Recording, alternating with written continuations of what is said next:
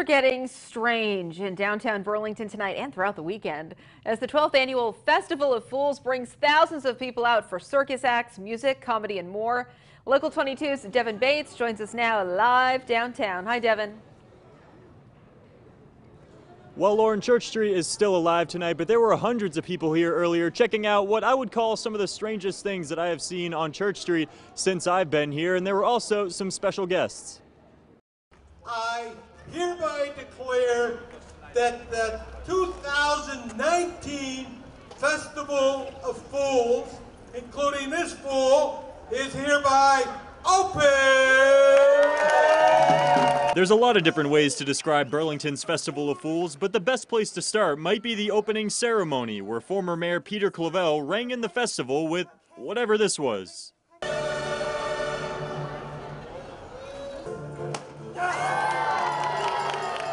You might think that's a hard act to follow, but it only gets weirder from there. A unicycle knife juggler who also somehow plays the bagpipes, a smaller unicycle getting in on the parade action, and of course, some of the strangest costumes you'll ever see in the Queen City. Doreen Kraft with Burlington City Arts said the annual festival has grown bigger and better each year.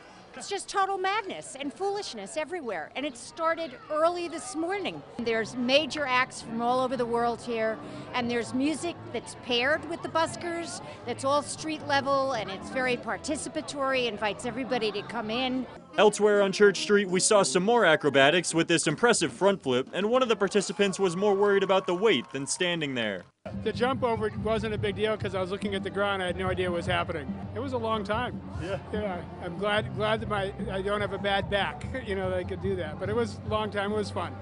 There were also a lot of people from out of state visiting for the festival who found this version of Church Street to be a lot different from what they're used to. We came here about a half a week ago and it was just you know, downtown Burlington. And then we came here again not knowing this was going to be on, and it's Festival of Fool completely transformed our area, a lot more people. It reminded me initially of a little bit of New Orleans, which we spent a lot of time in because of the alleys and the musicians, how you can hear it everywhere. So it's pretty cool. Yeah, a lot of stuff going on here earlier in the day. I had seen before people uh, front flipping other people, but uh, as far as the guy on the unicycle juggling knives with the bagpipes, something I'd never seen before. And if you want to see something you haven't seen before, it is going on until Sunday. So make sure you get out here to Church Street and the surrounding Burlington area. But for right now, live in Burlington, Devin Bates, Local 22 News. Devin had a lot of fun tonight. Yeah, I was going to say, he might just stay down there. Yeah, that's true. He's not coming home. no.